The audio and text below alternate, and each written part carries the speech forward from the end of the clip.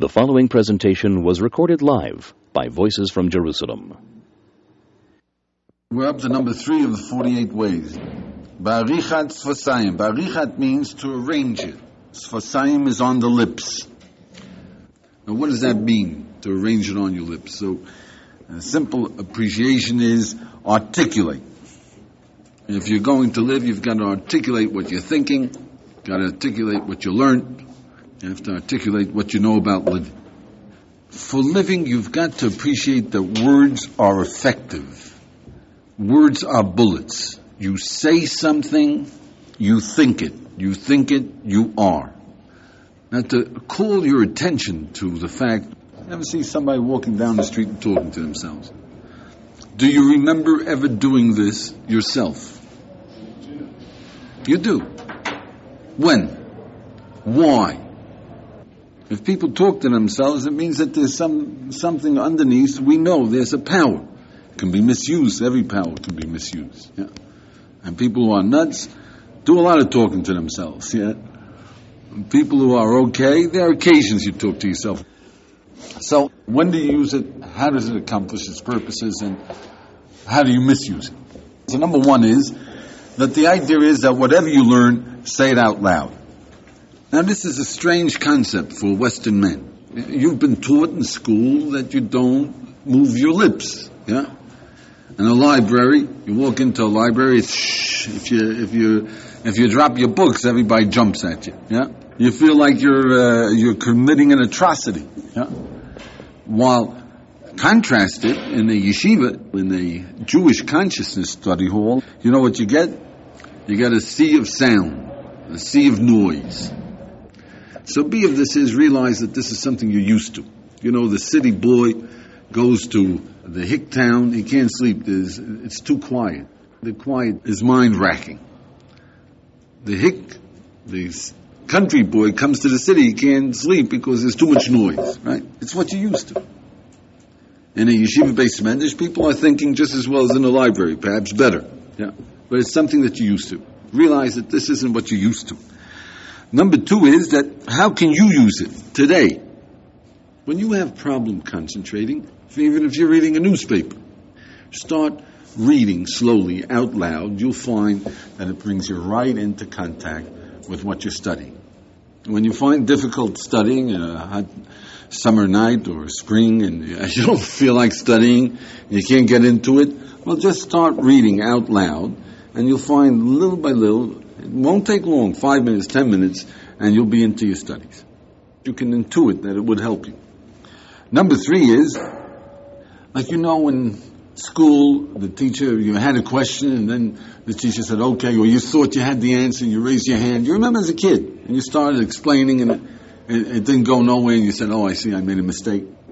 In a question or an answer. When you try to articulate, you rearrange your thoughts, and you get the reality. Explain it to yourself or explain it to someone else. But listen to yourself and you'll hear whether it's real, whether it's true or not, and say, you know, I made a mistake or I now I got the handle on it. By explaining it out, we get a clarity. So see of this is don't rely on your mind's decision that yes, I understand insanity is contagious. Yeah? Explain it to yourself, explain it to someone else, articulate it, and then you get the hang of it. If it's an important concept or hazy or difficult, explain it, articulate it. You'll get a clarity and a concise view of what you're talking about. Number four is perhaps the most important aspect, and you can use it today. You make a resolution. I'm going to do something. I'm going to get up tomorrow morning. I'm going to try to understand what I want out of life. Whatever resolution. You say it out loud, clear cut, forceful, meaningful, and you have a much better chance that it's going to get done. Okay, so number five is that use it for wisdom. Anything you accept as sensible is a bit of a resolution. You say that you should know what you're living for. You should focus on what you have and appreciate, take pleasure in the pleasures you have. Makes sense. So in the back of your mind, realize you're making a resolution. Someday I'm going to use this. Yeah? I'm going to remember this. There's a resolution. There's a decision involved. Don't let it lie there in the back of your head. Bring it up front by stating it. I will do it. When? When are you going to do it? The next time I have trouble concentrating, which will be this afternoon, I will do this. Whenever you hear a piece of wisdom that you accept as being valid, turn it into a resolution because it's there. And if you don't take it out, then you're betraying yourself time and time and time again. Put it up front by saying it out loud. I'm going to do this. Or I'm not going to do it. So number six is when struggling with wisdom or a question or a problem, using your voice to force you to grapple with the vagueness and the strangeness. An illustration of this is I don't know how to make decisions and it's something that's bothering me. And it could be that it's because I don't have confidence, or it could be that I, I don't really know what I want. You weigh it out. You weigh out the possibilities. So B of this is realize, and in Judaism we say, do it out loud with yourself. Weigh out the possibilities, much easier. You get all the flexibilities. Deal with the problem. You're not happy. I don't appreciate what I have. What's the matter? Well, it could be that I'm lazy. But it's not laziness. I'm willing to do work. You're not used to this, you see, but if you get used to talking it out, to discussing the strangeness of our mechanism, yeah, and what is the problem, and articulate the positions, then you have this power of getting down to the brass tacks, of, of knowing yourself. This was Jewish consciousness. And Jewish consciousness, that's what you'll find in the yeshiva. You'll find a guy at the at the back of the beis medrash discussing a problem in a Tosfot or in the Talmud. You can't say it's this because then it must be, that, but you have a contradiction from the other, so it must be. He'd much rather talk to someone else, yeah, but not everybody's interested in the particular problem he's working in. So he'll work it out himself. He's not nuts, he's using a Jewish technique. Put it on your lips. Number seven is that until you've learned how to do this on your lips, then it's a terrific step to keep a diary. At least articulate and concretize in words what did you learn today? What does it mean? What are you going to do about it? What you're not going to do about it? Why you're not going to do anything about it? Deal with these ideas. If somebody else could sit with you and ask you questions and you talk, it would be fantastic. So don't wait until you get a psychiatrist and pay him 200 bucks an hour, you know, and then you talk like mad. You say, did it get my, my hour's worth? right? If that's what you'll be doing, you'll be discovering yourself by talking. It just takes a little practice.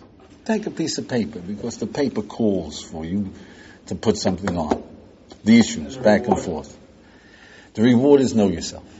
If you know yourself, you'll have the world. If you know what you want, you can go and get it. If you know what's holding you back, you can eliminate the obstacles. If you know what your pleasure is, you can enjoy it. If you know why you're doing something, you know whether you're right or wrong. If you know yourself, you have powers that are that are fantabulous. Everybody knows we have powers. If you don't know yourself, you're confused. You can't get a hold of your powers. We all want to be happy. We all want to be great. We all want to use our potential. We don't want to waste any part of it. We all want to accomplish. We all want to be kind. We all want pleasure. We all want meaning. We all want to be reality. We all want to be efficient. We all want to be tough. We all want everything good for ourselves and for our children and for anyone we love. So the beginning is write it down. Number eight is especially for decisions.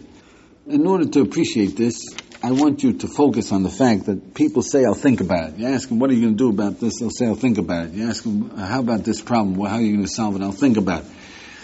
What usually they mean, and you've meant, and I've meant, we all, usually what we mean is, I'll agonize over it, and then I'll flip a coin. Did you see that? They say, I'll think about it, but really, I want to think about it. No, I'll agonize. Shall I? I'll stay in yeshiva. I won't. I'm going to take the job. I won't take the job. Yeah, it's a nice place to work. Yeah, but I don't feel like working. I'm, uh, uh, uh, you know, man. What the heck? Flip a coin, and we'll make the decision. See? So, B of this is, if you realize that that's, that's the problem, don't agonize about it, but think about it. How do you think about it? You take all the reasons for yes and put them down. You take all the reasons for no and put it down. You weigh out the priority, the, the values, put a, a value system on the yes and the value system on the no. And then it becomes obvious. Yeah? In the old days, Jewish consciousness was that you did this in your mind. You articulated by saying out loud, you listed. This is why I should stay in a yeshiva. I would get wisdom. I will find out whether there is a God. I will learn about free will. I'll learn what I'm living for. I'll perhaps pick up some friends. Value it up and then say, why not? Why should I leave the yeshiva today? I should leave the yeshiva today because I'd be very, very comfortable outside. Yeah. How about, uh, what other reasons? I mean, you know, come up and you do it all in your mind, you count it up, you make your decision. That's the way Jewish conscience, is the way people used to work. It's better saying it out loud and keeping the reckoning in the head. But today we'll get confused by it. I don't suggest that you do it. We don't have that discipline. So articulate on a piece of paper. Whenever you have decisions, and you'll find it so much more healthy and so much easier to do it on a piece of paper. Put down the reasons for doing something, the reasons against doing something. Give each one a value, one to three. Count up your points. You got your decision. It's as easy as that. Just do the work of writing it out. Number nine is that use articulation in another form, and that's called sloganeering. Now, what does this sloganeering mean? That, you know, we get this feeling, I've got to finish, I've got to finish. That's one of the times that we talk to ourselves, I've got to get this finished, I've got to get this finished, to keep us plunging ahead. I got to finish this before before the deadline. I got to get there. I got to study. I got to know this. Yeah, and we mutter it to ourselves to keep us moving. Right. B of this is that anything that you know you've got to remember, that you've got to focus in on, do it until the bitter end. I've got to know what I'm living for. I've got to find out what I'm living for. I have to make that decision. What do I really want? Otherwise, I am going to sleep. And you keep on going at it until you know what will happen. You'll sit down and you'll make that decision. What do you want out of life? If you keep on saying it to yourself, you keep on plugging to yourself, that, that, that, that, that, it moves you. It moves you into doing something. C of this is that the rabbis say, do it with something that moves you in general, like remember the Alamo. It gets you motivated, yeah? So, do it with I want greatness. It'll keep you moving. So do it until the end, as long as it keeps you more efficient, gives you more energy. You find something that gives you energy, use it. D of this is that the Jewish people, which is our slogan, we're famous for it. Hear, O Israel, the Lord is our God, the Lord is one. The Almighty is one. That's to keep you driving. That's what you got to settle in. That's it. That's what we say is the point of it all. You've got to choose your own. I'm telling you, the Jewish people, you can use life is beautiful, clarity or death, whatever makes sense to you. Bring it in. Think. Number 10 is with practice and sensitivity, there's a much more sophisticated way of using articulation, and that is feedback. Saying to yourself whether you mean it or whether you understand it. It's a feedback system. So, for example, if I ask you, are you going to, to do an assignment? Say, I'm going to do the assignment today, whatever the assignment is. Say. Whatever the assignment is. Right? Okay. I don't believe you. Say it. Right. Neither do you. That's the, that's the sophisticated system. Say it in a way that you'll convince me and you'll have yourself convinced. It's a way of getting our mind resolution into our desire.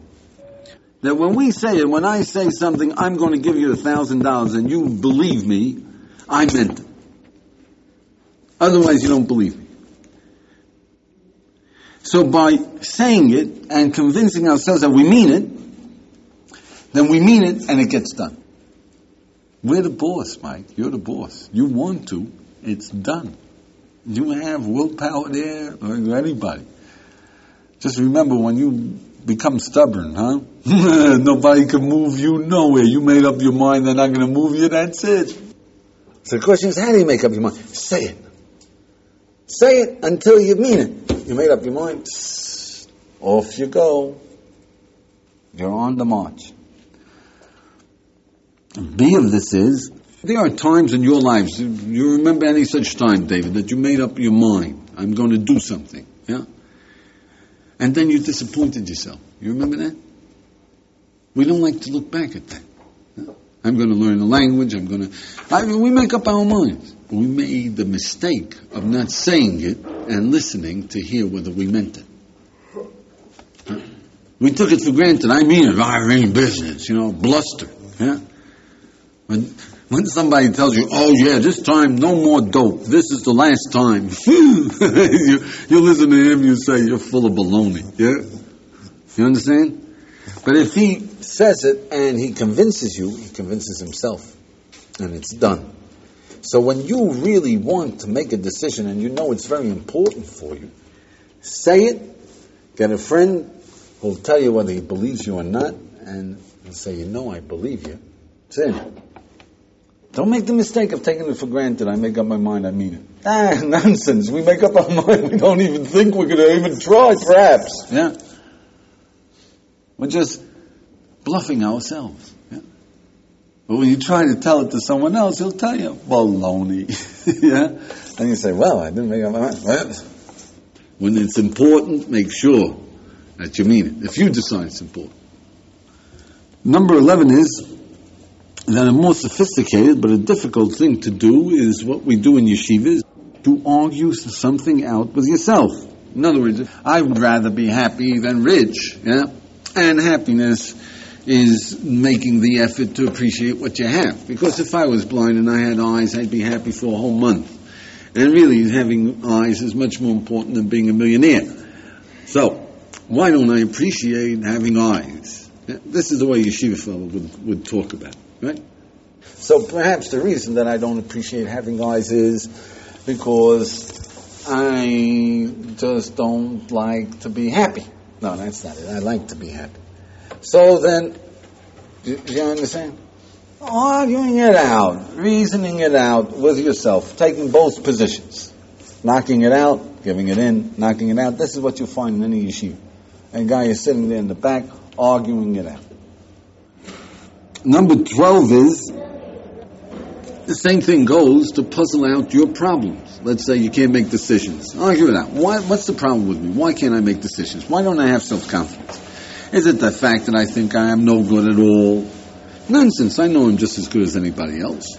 Then why do I, I have this low opinion of myself? Why do I hate myself? Is it because my parents told me I gotta hate myself and I'm listening to them? No, no, no. Yeah, it could be. Well then, what should I do to get out of it? You find you have problems. Talk it out with yourself. Of course, I don't suggest that you do this out in public because your friends will give you a wide berth, right? Lock the door and uh, tell them that you're rehearsing for an act. yeah. But then go and argue it out with yourself. Call yourself names and fight it out. Ah, that's stupid. Yeah, well, go ahead. You'll get a clarity. Number 13 is that a much more sophisticated and takes a lot of practice, but it's a Jewish concept, is that every human being has a mantra. Did you ever hear a mantra? A mantra is music, your particular music. And people who've learned Torah a long time know that once they get into learning, there's a particular rhythm, there's a particular tune that comes out of them. There's a joy of life. Every individual is his own. You'll find a lot of fellows in the yeshiva are singing while they study. Music helps you concentrate. If it's the music into what you're doing, it facilitates it. My father, I remember his tune, although I'm no good at remembering tunes, right? But I remember he had a tune. It takes an awful lot of learning to find your tune, and it's in Torah. I've never seen, you know, you don't have these tunes uh, when you study uh, psychology or biology. When you're studying, it's like, uh, yeah, unless it's a musical, you know, the toe bone with the shin bone, with the, right? But there is a tune. And if you study long enough, you get in touch with your tune. And then it's a tremendous help to get yourself back into study anytime you want. You just start with your tune and zing, you're in there. All right, number 14 is that move yourself with articulation. Again, we do this subconsciously when we have a heavy burden. We say slow, or when we we're trying to get our effort. We say, come on. When we're afraid, say, don't be afraid. You, you, you understand? You, you sort of hedge yourself. You, you nudge yourself with words. When you wake up in the morning, you don't feel like getting out of bed, and say, it won't hurt you.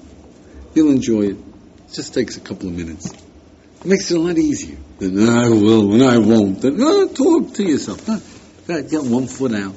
But when you feel like getting angry, perhaps, right? Say, hold it, slow down. Doesn't really matter. Take it easy. When your emotions are done, talk yourself out of it. Slow yourself. Calm the raging beast. Calm the pain. Whatever it is that you have to say. Number 15 is, and it's, it's a great idea to give yourself a pep talk. Like a sales manager. You know what a sales manager does? He calls his troops in, the salesman in, he focuses their attention. Look, you're going to go out there. Joe made a thousand dollars of sales yesterday. You guys can do a heck of a lot better. Everybody's buying today. Let's go. And, he, and they come out. Ah, get him. Yeah. Well, it's nice to, to hire your own sales manager and say, every morning, give me a pep talk. How much I'm going to accomplish today. if you have big enough money, you know you can hire a guy to give you a pep talk. But if you don't have enough money, give yourself a pep talk. Say, today, today's the day I'm going to make it. When you wake up in the morning, today I'm going to run out of bed and I'm going to be full of joy and pep because I know that life is beautiful and I'm going to study. I'm going to use everything that I study, and it's going to be part of me. And I'm going to assimilate to life, and I'm going to make friends, and I'm going to. And you get yourself all lapped up, and you're ready to go.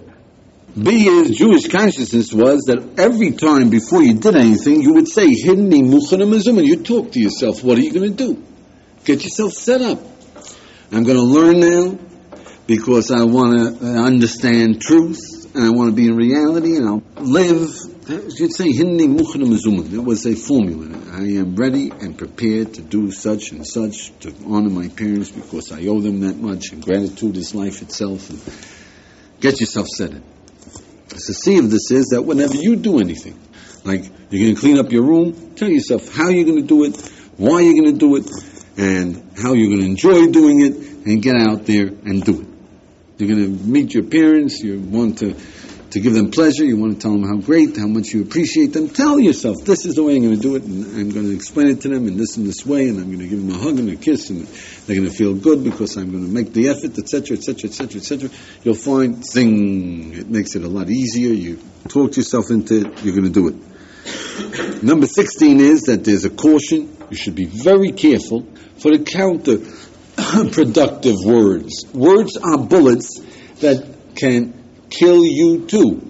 Never say, I'm no good, I'm stupid, I'm worthless, I'll never accomplish anything, I'm a failure, I can't change. Whenever you say that, you're cutting yourself down. Never say those words. Shh, strangle them. Talk the other way. The same thing like with a friend. You can call a friend stupid, yeah? If it's good natured, if you know, with, with respect, yeah? That was a stupid thing to do. If you're, you're saying that was a stupid thing to do and you're aiming at him, you better not do it. If you're with him, you know, we're together, but that's ridiculous and that's a, you're a fool idea, but I, I respect you you respect me, then you, you can go. But if you say that's ridiculous and that's a fool idea and you mean that you're a fool and you're, then you lost a friend. So when you're talking to yourself, respect yourself. You say that's stupid. Okay, but we mean we're going to straighten out. Yeah? Okay, now why? Why do we need this? Why do we need this in order to live? So number one is this, is that at least it keeps you from falling asleep, from dreaming. We say it'll help you concentrate on biology. Biology and history and a newspaper. Read it out loud. Get you in there. It keeps you from falling asleep and from dreaming. But goes more than that, and number two is that in the mind, ideas are fuzzy we can't get the right perspective when it's articulated, then we have a sort of an objectivity. We're subjective in the mind. I think it's a great idea, but when I try to explain it to someone, even when he doesn't say nothing, yeah, I see for myself that it's not such a good idea. Because It's taken out of an amorphous and it's given clarity so you can see good, bad. Yeah? Number three is that today there is this audio visual aids. They tell you that if you hear something, it's not as effective as if you hear it and see it, right? You understand? The more senses you have working, the deeper an impression.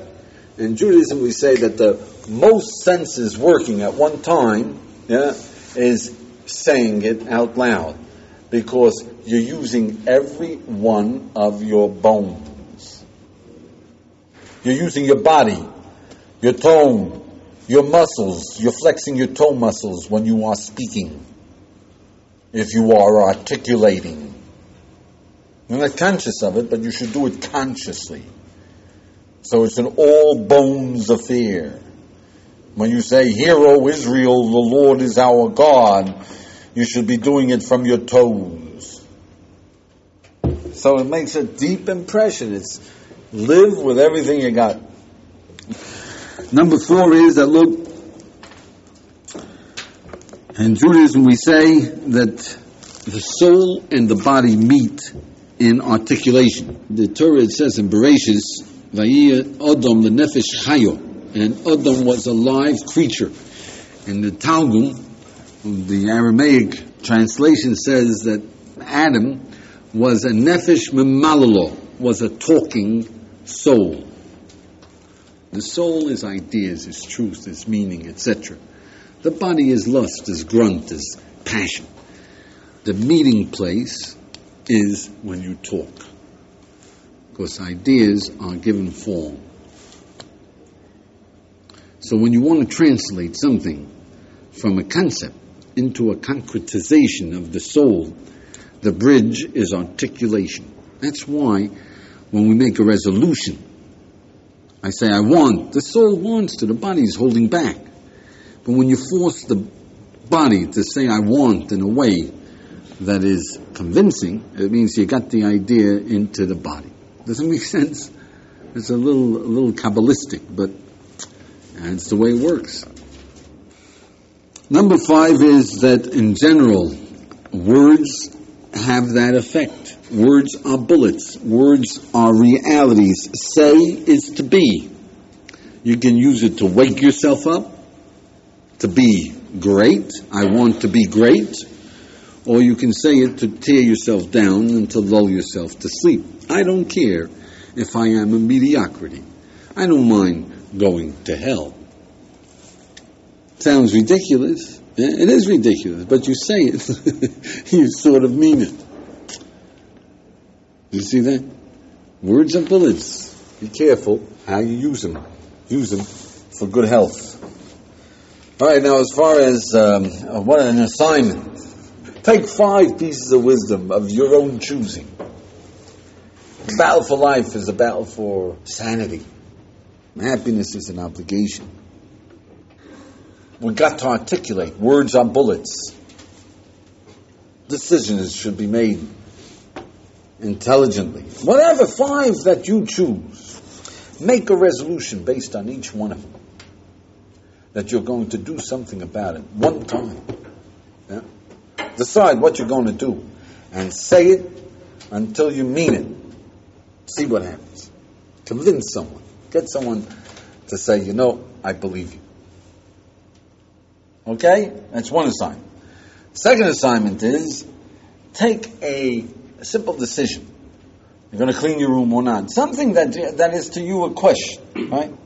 Put down the pros and cons with values. With values. Put it down on a piece of paper and add it up and see the decision making machine. If you do it now with a simple decision, then when you have a real tough problem, you'll reach for a piece of paper and you'll do it. Uh, you won't have to agonize. You will think things through.